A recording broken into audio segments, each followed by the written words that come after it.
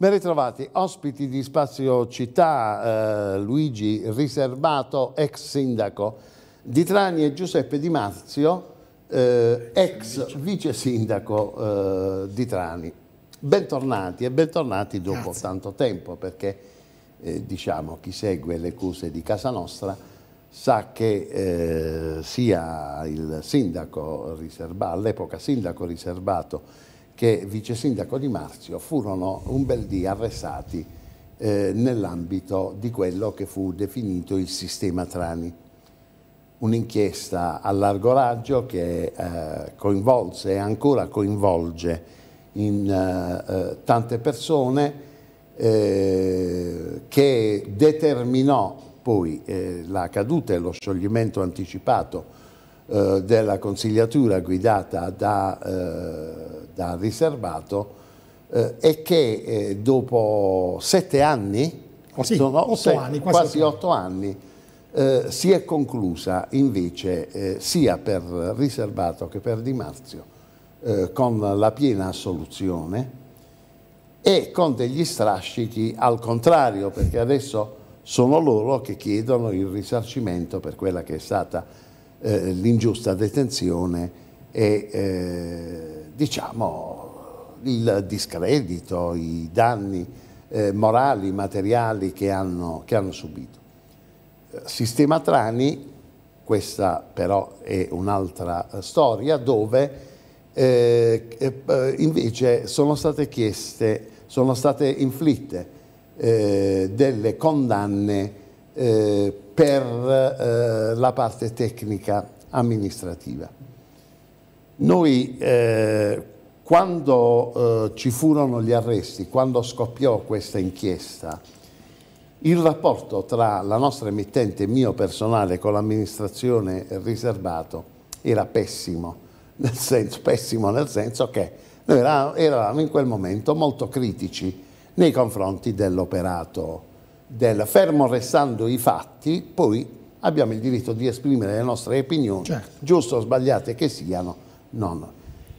Eh, nel momento in cui eh, scoppiò eh, quell'inchiesta, cioè venne alla luce quell'inchiesta, ci furono gli arresti, eh, ci vantiamo di aver assunto immediatamente una posizione assolutamente garantista, come sempre fa questa emittente televisiva e io personalmente, e di averla eh, mantenuta in tutti eh, questi anni.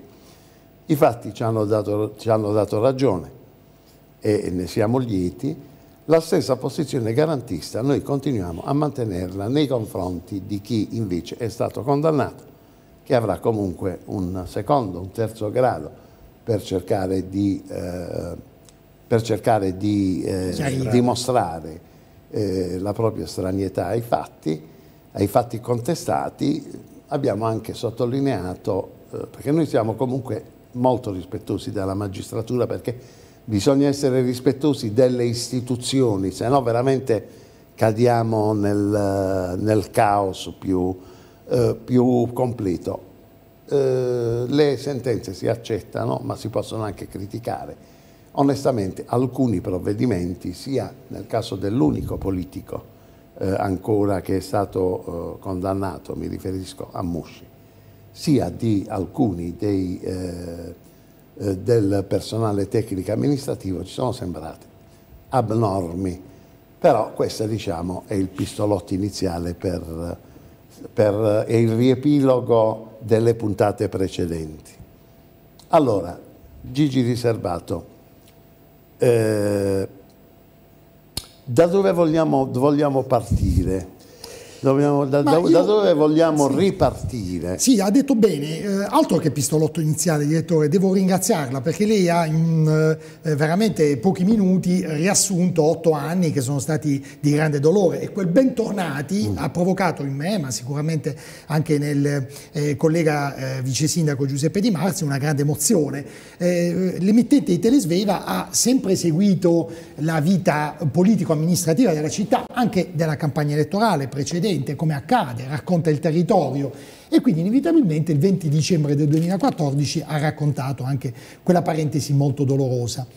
Nel corso di questi otto anni noi siamo stati assenti a dimostrazione che abbiamo um, fortemente eh, creduto nel rispetto delle istituzioni con il silenzio, perché come ho detto in altri contributi, dalle nostre parti eh, una cifra di rispetto è anche il silenzio nei confronti delle istituzioni. Certo, ovviamente c'è da riflettere eh, come si sia arrivati a una sentenza di primo grado eh, di assoluzione piena dopo soli, si fa per dire, otto anni, 3.000 giorni, con il ehm, proscioglimento totale, con una soluzione piena, perché il fatto non sussiste, perché il fatto non è previsto nella legge come reato, per soli due capi di imputazione, che perlomeno in capo sottoscritto erano rimasti, per i quali addirittura il sottoscritto aveva anche rinunciato alla prescrizione. Nel corso di questi otto anni però sono maturate delle vicende molto importanti. Intanto incredibilmente, ma sarà oggetto di questo eh, dibattito, abbiamo appreso che c'è stata una sentenza a questo, a questo punto, proprio come lei dice, passata in giudicato, cioè definitiva, in capo al pubblico ministero che originariamente era titolare del nostro fascicolo. E poi pian piano, pian piano abbiamo visto di fatto un quadro politico della città che sentenza di condanna, sentenza di nei condanna. confronti del, del pubblico ministero Michele Ruggero che era eh, originariamente, originariamente titolare. Esattamente. E poi piano piano abbiamo visto, una, abbiamo assistito a un aspetto politico, perché poi come mi sono trovato più volte a dire, nel corso di questi otto anni, anche un complice, un bonus Covid, c'è stato comunque un sovvertimento della volontà popolare e democratica della città di Trani, perché come lei ricordava, noi siamo stati costretti alle dimissioni, ci sono stati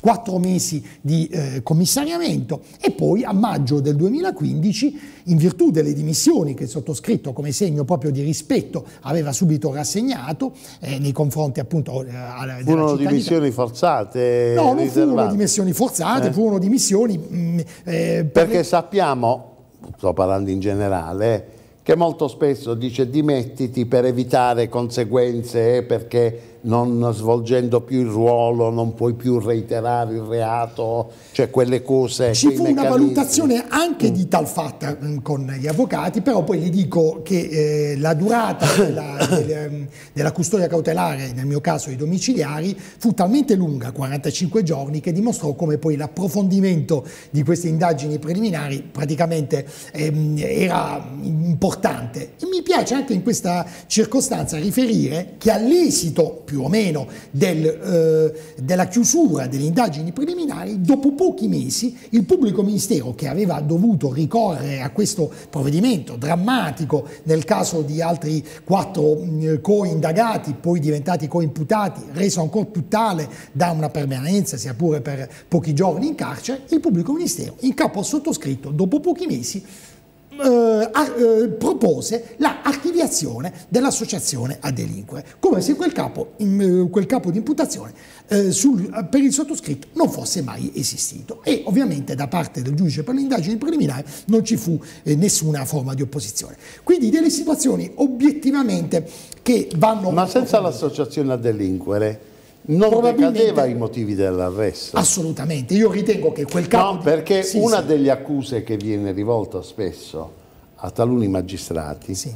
è di eh, aggiungere un eh, reato più grave eh, che sa bene non reggerà al esatto. dibattimento, ma che nella fase delle indagini gli consente di assumere dei provvedimenti dalle intercettazioni, sì. magari dall'autorizzazione delle intercettazioni, anche all'arresto che invece sì. sempre senza quel reato per rispondere tecnicamente alla sua eh. giusta osservazione, le dico che, anche diciamo, da avvocato, le dico che c'erano altri, mh, la contestazione di altri capi di imputazione della concussione politica e della concussione lavorativa, tutti venuti meno con sentenza totale piena di proscioglimento, che avrebbero teoricamente potuto portare mm. comunque a una misura cautelare. Ma indubbiamente, come lei dice, l'associazione delinquenti in capo al sindaco, venuta meno, di fatto io ritengo che il sindaco dell'epoca, cioè il sottoscritto, scritto non andava assolutamente arrestato. Però tant'è tant'è che poi dopo nel corso di eh, ovviamente questi otto anni, mh, per un veloce ehm, così, riepilogo, poi c'è stato un sovvertimento della volontà ehm, popolare della città di Trani, perché poi a maggio del 2015 ci sono state le nuove votazioni e con queste nuove votazioni il centro-sinistra è, è, andato poi Ma questa è un'altra storia. Allora, Giuseppe Di Marzi. Eh, Gigi Riservato è giovane, diciamo, rispetto a noi che siamo vecchie pellacce certo. di Prima Repubblica. Perché eh, io rilevai al, all'epoca eh, dei fatti, quando scoppiò l'inchiesta, due reazioni diverse. Eh, vidi un riservato distrutto, mi giungevano notizie, cioè, eh, invece tu eri incazzato come una iena e eh, avessi diciamo, una reazione eh, rabbiosa, una reazione eh, di, eh, di, di, forte contestazione, di, eh, volevi far di fatto, per dirla. Allora, quindi vissuta in maniera, eh, diciamo, caratterialmente in, in modo diverso. Sì, allora grazie innanzitutto per l'invito mm, e grazie anche alla vostra eh, emittente che seguo, che ha sempre mantenuto, come hai detto, una eh, posizione garantista nei confronti di tutti, indipendentemente certo. dal, non a dal giorni ruolo, alterni, non a seconda di chi è l'indagato. Perfetto. Non, eh, ritornando alla vicenda di cui Gigi eh, ha parlato, naturalmente questo ha interessato le persone, ha interessato Gigi, ha interessato me, ha interessato altri eh, amici politici che in quel momento si sono visti arrivare a casa il 20 dicembre del 2014 eh, al primo mattino suonare il campanello ed entrare agenti della polizia e della Digos e perquisire l'abitazione. Ora, immaginiamo il trauma nostro comunque che facevamo eh, politica, ma soprattutto delle famiglie, dove siamo immobilizzati. Non potevo neanche usare il telefono e chiamare l'avvocato o anche mio figlio che abita accanto, che è legale, che è un avvocato, per cui non potevo eh, muovermi, non potevo fare più nulla, per delle cose che ritenevo di avere la coscienza pulita e le mani pulite, cosa che poi si è verificato dopo otto anni. Per cui in quel momento scatta la rabbia, perché sino a quando tu sai di aver commesso qualcosa, sai, cerchi di difenderti, invece in quel momento sapevo di essere tranquillo, sereno, avevamo operato per due anni in maniera, poi si può condividere o non condividere l'operato di ognuno di noi, però alla fine ognuno di noi fa l'esame di coscienza. Ero convinto di aver operato non bene, ma benissimo. Noi ci siamo insediati al comune di Trani dove c'erano una infinità di gare che andavano in, in prologa. E tra, ero l'assessore ai contratti di appalti, quindi avevo il dovere di vedere quali erano le gare che oramai da tempo giacevano nei cassetti e che andavano in proroga anche in maniera illegittima. Per più di una volta. E questa gara, di cui poi per cui siamo stati arrestati, la gara che riguardava la vigilanza del, del, del comune di Trani, era una gara che andava in proroga e che vedeva una liquidazione di circa 90.000 euro mensili, quindi una gara grossa. E quando mi consultai con il segretario generale, e il segretario generale... Per la, 90.000 per la vigilanza di Vabbè, quali plessi? Tutti gli, immobili, tutti, comunali. tutti gli immobili comunali, villa comunale, ah, sì. le scuole, un, un, po' tutto insomma.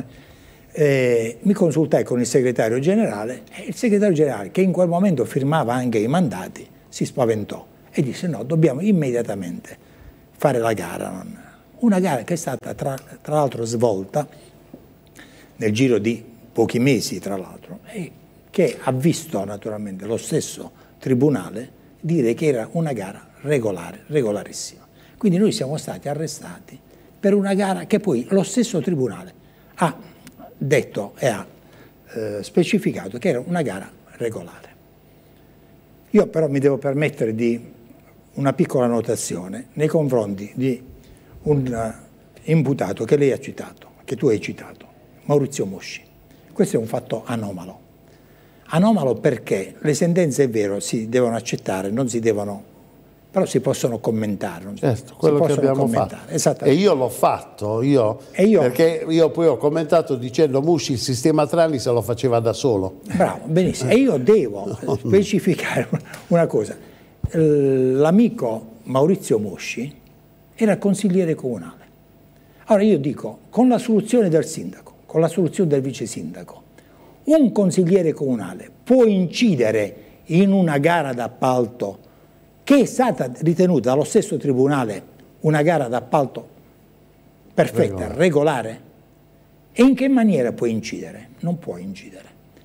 Ma viene accusato da un cittadino che poi è, nell'ambito del sistema Trani 2 praticamente, condannato a 5, anni, a 5 anni e 7 mesi, a una pena, doppia. doppia. Allora dico, delle due cose l'una, o non ci sta la prima o non ci sta la seconda. Ma secondo me non ci può stare la prima, in quanto un consigliere comunale non può incidere in nessun motivo in una gara d'appalto. Questo, questa precisazione. Per cui ero tranquillo, sereno, però in quei momenti ti scatta la rabbia. Non può perché, essere tecnicamente. Perché? Cioè eh, può, poi può anche, un consigliere può anche venire, essere andato dall'assessore a dire vedi se puoi, ah, diciamo, a livello a di è tutto fine a se stesso. Non... Ma questo mi riporta indietro nel corso degli anni, ecco la rabbia di cui facevi cenno, perché noi nel 93 fu sciolto per mafia. Anni, fu eh... sciolto il Consiglio Comunale per infiltrazioni mafiose. Sì, sì. Sciolto il Consiglio Comunale. Anche in quella vicenda, dove la città di Trani ha un marchio oramai indelebile che nessuno ha potuto cancellare, e anche questo è una cosa ingiusta, dove tutte, tutti i processi tenutisi nel, eh, nel testo del, eh, dello scioglimento del Consiglio Comunale, dall'allora eh, prefetto Catenacci praticamente, sono stati tutti, tutti assolti. assolti. in primo grado, non in appello, non in Cassazione, in primo grado, dal Tribunale di Trani. Allora dico, perché questa città deve pagare la presenza del la presenza tribunale? Del tribunale? Eppure ci tenete tanto. Eh. Certo, ci teniamo tantissimo, tra l'altro Trani non dimentichiamo no. che è stata sede anche della da Corte d'Appello. Dico, però perché deve pagare in due vicende, nel 93 prima e nel 2014 poi, cose di cui la politica non ha colpa? Questa è la rabbia che è scattata in quel momento. Allora, eh, avvocato riservato, eh, io diciamo eh, soprattutto i social network, che diventano ogni giorno di più, lasciatemelo dire, una fognatura no? a cielo aperto. Eh, abbiamo letto di tutto di più. Io onestamente avrei fatto gli screenshot di tutti i commenti certo. eh? e oggi mi sarei fatto una posizione con uh, i risarcimenti dei, dei danni. E quindi ve ne sono state dette di tutti i colori. Eh? Mariulla è un effetto buono, cioè c'era il... No, non, allora, io non dimentico mai, io diciamo nei miei commenti politici non uso il fioretto, ma insomma, preferisco di gran lunga la scimitarra, però sino a quando si tratta della battuta ironica, del commento duro, eh, del, eh, ehm, di un, un, termine forte eh, e di una posizione pre, eh, precisa e drastica, stiamo parlando di politica, stiamo parlando di amministrazione, non stiamo parlando della vita delle persone quando accadono fatti come quelli che sono accaduti a voi, stiamo parlando della vita delle persone. Certo. A questo punto bisogna essere uomini perché stiamo parlando della vita della per, del, del, non della singola persona, ma anche delle famiglie, del, cioè, c'è un, tutto un, un contesto Eh, come l'hai vissuta?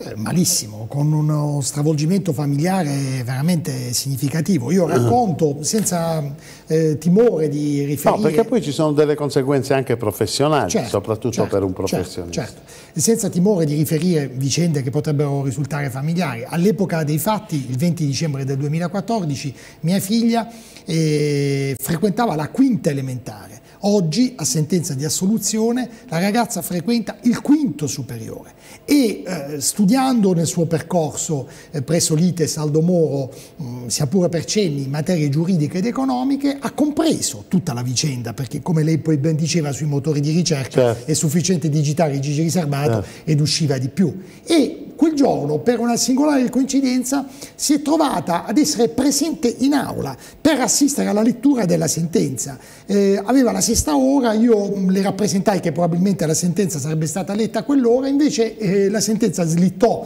in fondo di un paio d'ore, come le telecamere di Telesveva seguirono, e quindi si è trovata inevitabilmente a seguire in aula l'epilogo di una vicenda tristissima alimentata da un livore ehm, in effetti ehm, spropositato, esagerato. Ora, le campagne elettorali, le vite amministrative delle cittadine con 50-60 mila abitanti, nel caso di Barletta, di Andrea, con una popolazione più ampia, si sa, alla fine tutti sanno tutto e quindi di conseguenza a volte ci sono anche dei falli che vanno proprio sul personale, dei falli, eh, usando un termine calcistico, che possono veramente consentire e che possono determinare un, un infortunio serio.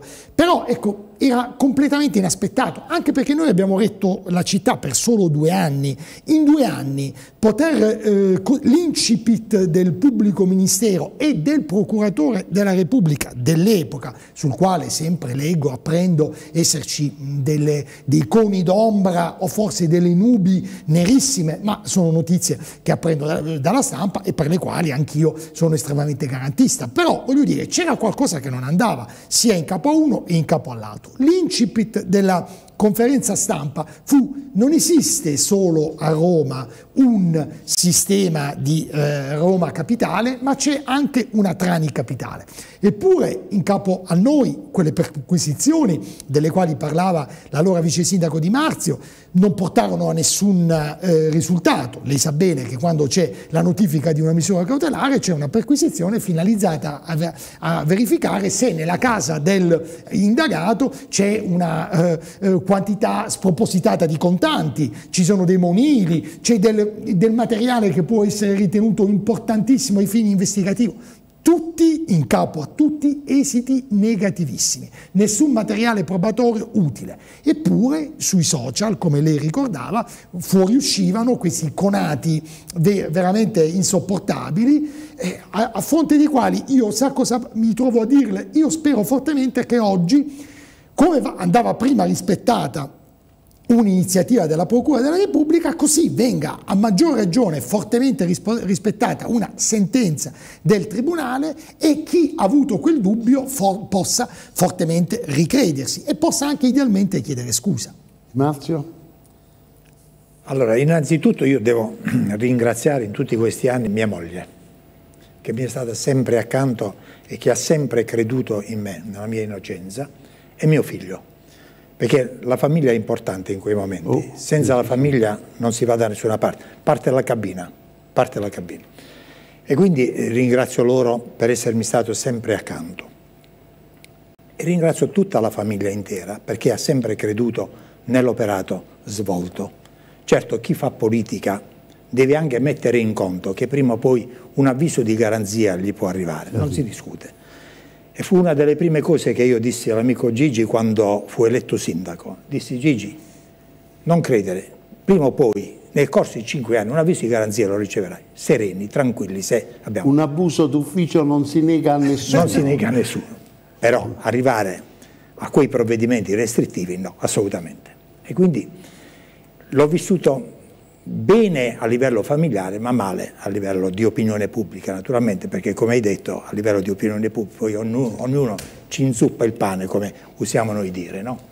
quindi diciamo che nel corso di questi anni al di là dei fatti personali, di salute che ognuno di noi nel corso di questi anni ha avuto praticamente.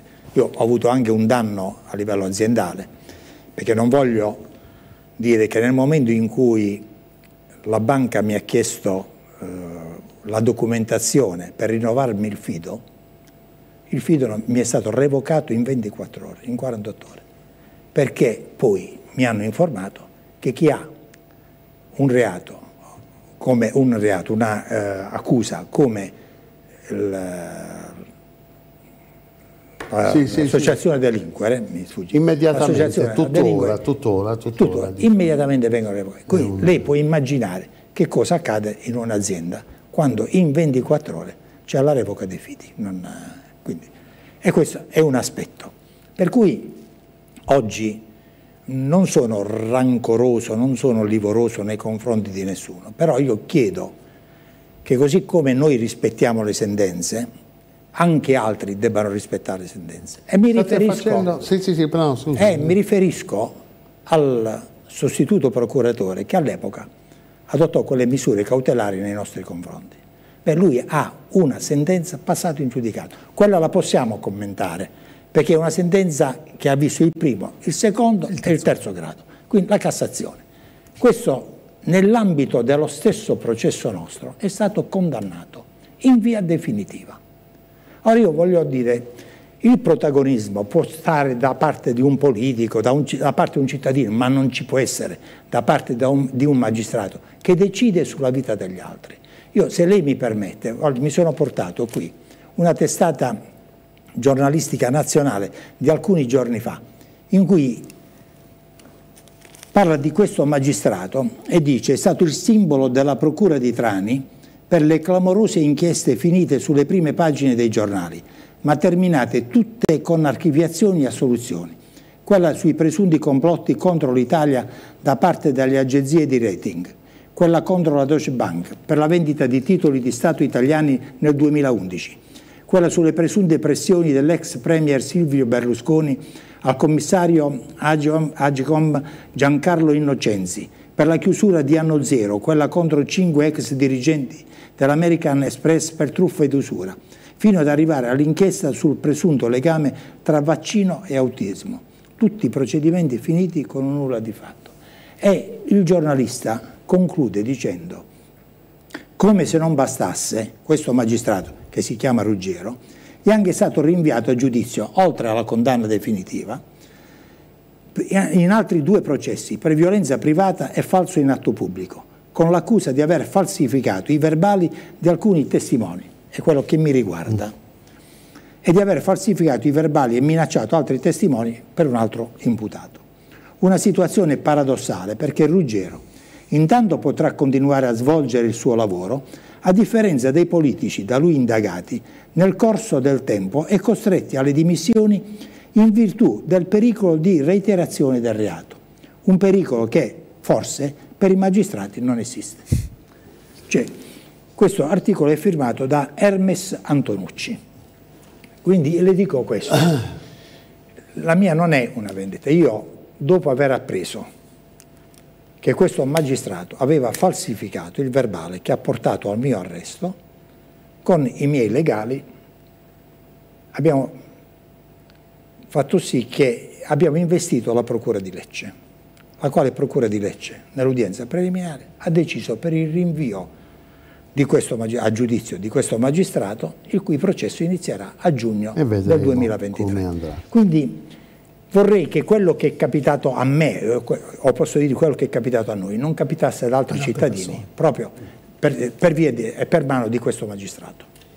Bene, eh, fermiamoci per un uh, minuto, uh, dopodiché insomma voglio anche guardare un po', un po avanti e vedere insomma di, eh, di, comprendere anche quelle che sono, possono essere, eh, può essere un ritorno alla politica, la voglia di rimettersi eh, in gioco per superare completamente insomma, questo, questi anni che sono stati certamente anni terribili, lo faremo tra un minuto.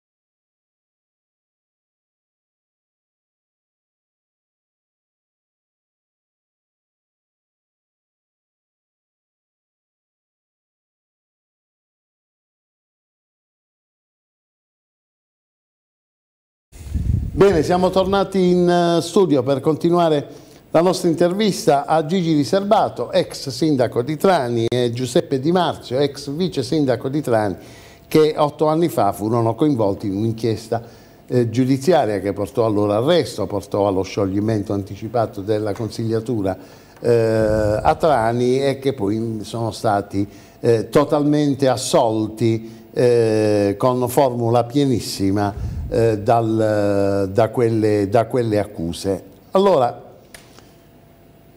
un professionista, un imprenditore. Gigi eh, eh, Peppino Di Marzia ha già eh, fatto cenno ai danni che ha subito la sua azienda a seguito di quell'inchiesta giudiziaria e eh, io eh, così come immagino che un professionista eh, a fronte di accuse di questo genere se non si trova da, da oggi al domani senza clienti poco ci manca sì, io, ah, eh, sì. allora eh, parliamo proprio parliamo di vile pecunia sì. cioè come si può quantificare il danno subito? No, allora, eh, io sono avvocato di un ente pubblico, cioè sono avvocato dipendente sì. di una società pubblica ehm, che eh, inevitabilmente all'indomani della notifica della custodia cautelare mi ha eh, dovuto eh, sospendere. sospendere. dal servizio, con una raccomandata che si ha ricevuta di ritorno, spedita all'epoca, che si univa a tutte le botte notizie che giungevano certo. in quel momento, perché era il caso di dire una pioggia di meteoriti eh, incredibili. E quindi ci fu anche il provvedimento di sospensione. Il provvedimento di sospensione porta ovviamente a uno stipendio neanche a un quinto, ma porta a uno stipendio pari a zero, con ovviamente la sospensione dell'indennità di sindaco. Penso che granché di più non si debba aggiungere, cioè praticamente ti ritrovi con una situazione completamente azzerata. A distanza di due o tre mesi, revocata la misura cautelare, devo dire che la mia società pubblica, resasi conto dalla lettura delle carte che in alcun modo la mia vicenda riguardava, era una pietra d'inciampo, diciamo così, frutto dell'esercizio, dell'espletamento di un mandato istituzionale e non riguardava in alcun modo l'esercizio del, delle mie funzioni di dipendente, mi ha eh, consentito una riammissione in servizio. Sostanzialmente però, come lei, eh, le lascio immaginare, con un ruolo diverso, cioè nel senso che il sottoscritto era appunto il responsabile dell'ufficio legale di questo ente pubblico e ovviamente rientrato in servizio, devo dire anche in tempi ragionevoli, con attestati di stima che sono state carezze per il cuore e per una ripresa di vita normale, si è concordato sostanzialmente una, eh, diciamo, una nuova eh, destinazione in ufficio. Quindi io di fatto ho avuto un danno incredibile perché poi mi sono trovato da essere appunto il responsabile dell'ufficio legale, uno dei responsabili dell'ufficio legale, a occuparmi di tutt'altro, cioè a ruoli amministrativi che non comportassero alcuna situazione. Ma ne aggiungo anche di più.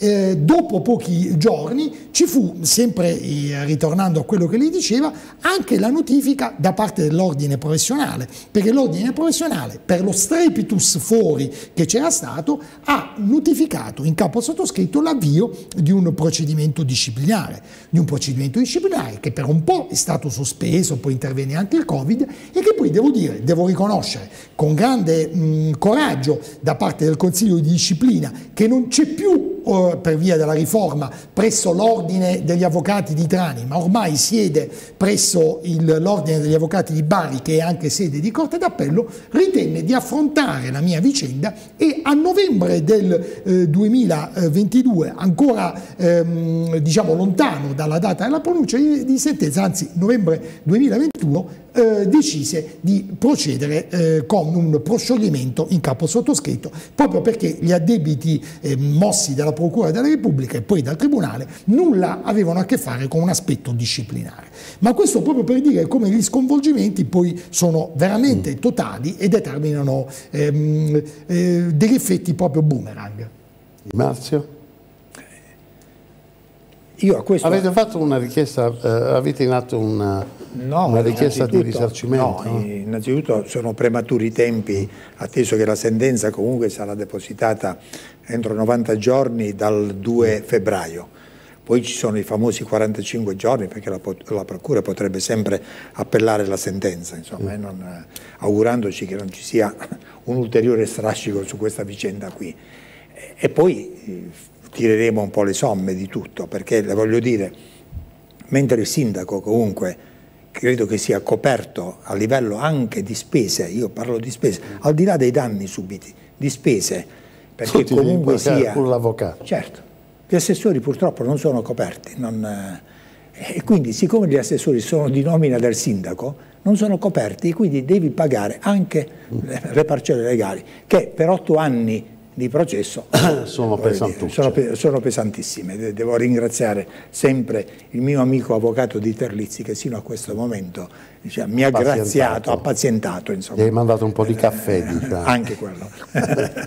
Solo che negli ultimi tempi non beve più neanche il caffè. Vabbè, quindi questo è... E poi, ripeto, ancora una volta, ci sono anche dei danni fisici che ognuno di noi, al di là di quelli personali, anche familiari, certo. che nel corso degli anni, non voglio parlare di danni fisici personali perché quelli sono, sono un'altra cosa, comunque sia, lasciano il segno determinate situazioni.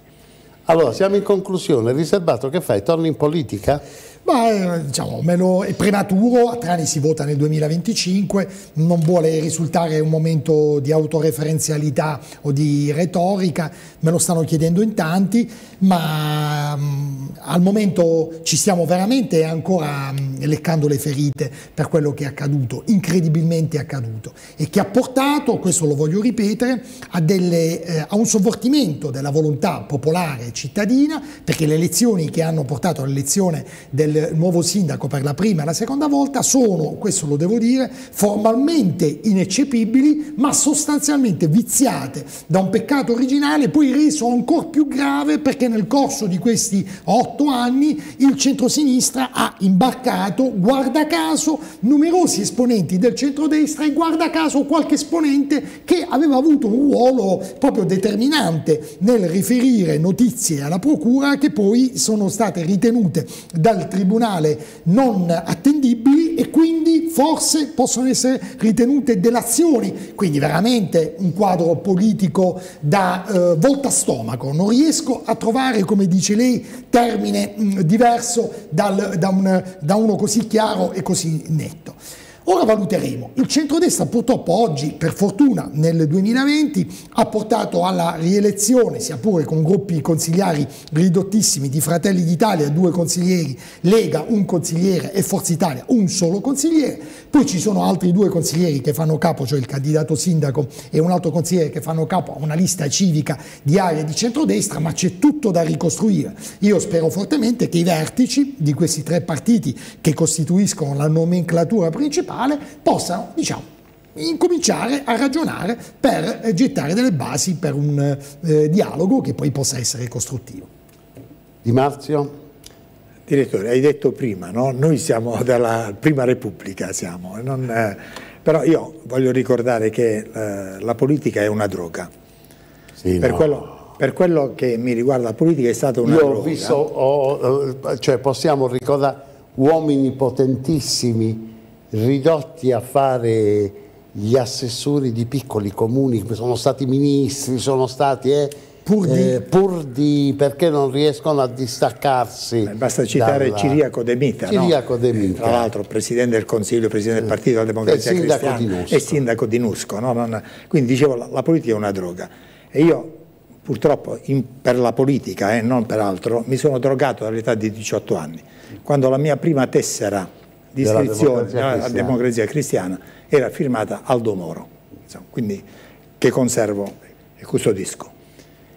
Per cui nel corso degli anni, anche quando ho avuto la precedente... Erano i tempi di Don Angelo Pastore a Trani. Perfetto, di Don Angelo Pastore, che comunque ha dato veramente tanto, tanto, tanto lustro e tanto alla città di Trani, e non solo alla città di Trani, per i ruoli che eh, certo. egli, egli, ha ricoperto. Insomma. Ricordiamo soltanto una, una per tutte, l'ospedale di Trani, che poi è finita non, non, voglio parlare in quella misera eh, vicenda, vabbè. vicenda, insomma, di uso questo è un'altra trasmissione. è un'altra eh, è un'altra trasmissione, perché poi tra l'altro con l'ospedale di Trani io ho avuto a che fare, avendo ricoperto eh, la carica di presidente dell'ospedale, sempre nell'epoca di Don Angelo Pastore e poi di componente del comitato di gestione della USL, allora era USL. O era SAUB? U, USL, USL, Unità Sanitaria Locale Unità praticamente, USL. No? E quindi diciamo poi c'è stata l'ulteriore vicenda per cui mi ha visto in panchina per altri 7-8 anni e poi sono venuti a cercarmi dopo l'assoluzione naturalmente del primo, dei primi processi e sono venuti a casa, devo, posso anche fare nomi, l'onorevole Gero Grassi, che poi è stato onorevole candidato all'epoca della Margherita, eh, la servo Dio, perché io potessi tornare in politica, ma mi volevano portare in politica dalla parte del centro-sinistra praticamente, con la Margherita che si era un po' alleata all'epoca con il Partito Comunista, non me la sono sentita, la mia è sempre stata una posizione, diciamo, nella democrazia cristiana di centro, ma ho optato in virtù anche di determinate vicende che nel corso degli anni si sono susseguite, perché non devo dimenticare che all'epoca presidente della commissione era eh, antimafia eh, a livello eh, nazionale era Luciano Violante, che faceva parte del Partito Comunista tra l'altro, no? e che comunque ha condotto un po' le indagini sullo scioglimento del Consiglio Comunale, sulla, sulla politica, lo scioglimento del Consiglio Comunale, eh, quando poi la politica è stata ritenuta totalmente estranea da quelle vicende di un famoso eh, tranese che aveva commesso tutt'altro, tutt'altri reati praticamente, non quelli di intromissione con la politica. E quindi sono venuti a cercarmi. Quindi mi sono, ri... Però io mi sono rimesso... sto rilevando anche dai casi più recenti, no? c'è stato lo scioglimento di Cerignola, di, di Manfredoni l'ultimo di Trinitapoli, che il ruolo principale a, a eh, diciamo, il ministro degli interni alla fine si affida a ciò che gli dice il prefetto. Esatto, firma una relazione. Che... Firma una relazione, quindi diciamo a determinare lo scioglimento del Consiglio Comunale di Trani per mafia Violante c'entra poco. No, cioè. Violante non, non eh, ha, non ha eh, eh. Lì il ministro era Mancino, Mancino il ministro, eh. ministro degli diciamo, interni. Hanno no, firmato. Io parlo sempre eh. perché lui era a capo della, della commissione, commissione antimafia. antimafia. per cui aveva anche interrogato diciamo, quel famoso personaggio tranese che aveva vomitato di tutto e di più sulla politica, ritenuta anche in quei casi completamente estranea.